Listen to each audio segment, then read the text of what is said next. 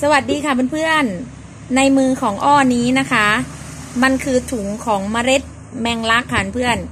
แมงลักหรือผักอีตู ผักอีตูบ้านเฮานินไหม เอาไปปลูกค่ะ นี่แมงลักนะคะ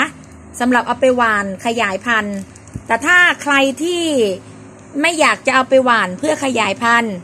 อยากจะเอาไปแช่น้ำรับประทานเพื่อสุขภาพลดน้ำหลัก ลดน้ำหนัก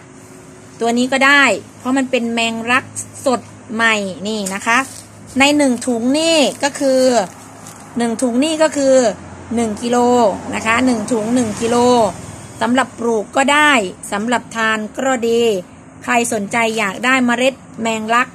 สดสดใหม่ ๆ ที่อ้อที่เบอร์โทร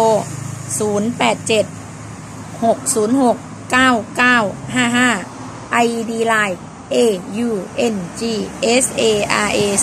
09 อ่านว่าอังสรา 09 กับเมล็ดแมงรัก พร้อมปลูก พร้อมทานได้หมด